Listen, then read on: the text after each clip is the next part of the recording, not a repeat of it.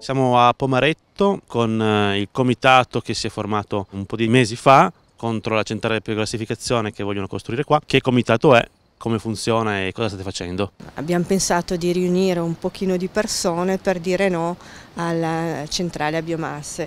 Eh, il comitato come nome ha No Centrale a Biomassa Pomaretto nome che ci è stato anche contestato perché ci hanno detto questa è a pirogassificazione. Ci incontriamo ogni 15 giorni più o meno il, il venerdì per eh, organizzare delle iniziative. Adesso volevamo fare un volantinaggio per eh, informare la popolazione sul perché noi diciamo no alla costruzione della centrale perché ci sono ancora molti scetticismi, gente che non sa o che non sapeva che venisse costruita o che comunque non, non era interessato alla cosa, tanto dicono è lontano da casa nostra, non ci tocca.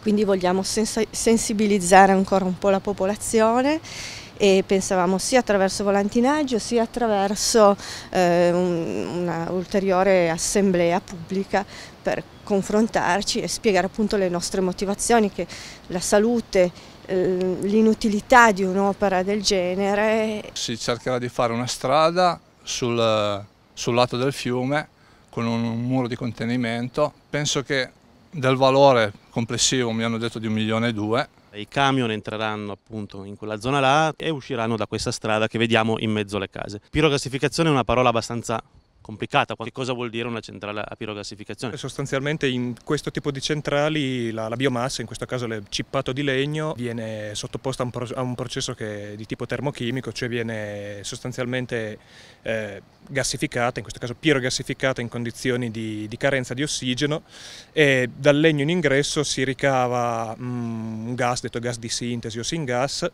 eh, che è composto da di diversi tipi di sostanze, sostanzialmente metano, eh, monossido di carbonio, azoto, idrogeno e biossido di carbonio. Eh, questa miscela di gas eh, ha un modesto potere calorifico e dopo un complicato processo di depurazione tramite una serie di, di filtri di diverso tipo, eh, può essere impiegato, come avviene nel caso del, del pirogassificatore qui in progetto, per alimentare eh, dei motori a combustione interna, dei, dei, dei grossi motori a scoppio sostanzialmente.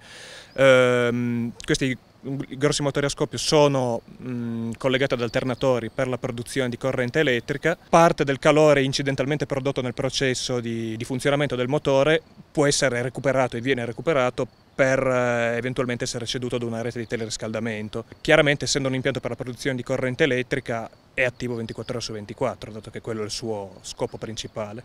Per chiudere un po' questo ragionamento, la cosa che io chiedo a voi è cosa chiedete al sindaco di, di Pomaretto riguardo questa centrale?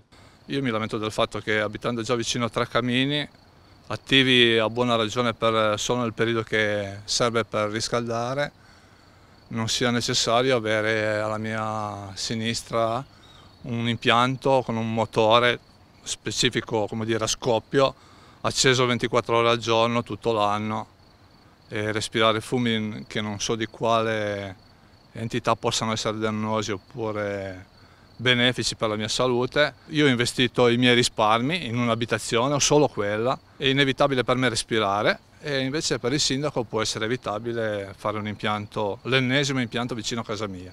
Onestamente non lo trovo corretto, lui dovrebbe tutelare tutto e tutti.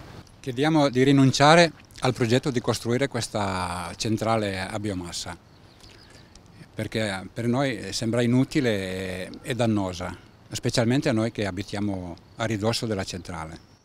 Questo chiediamo.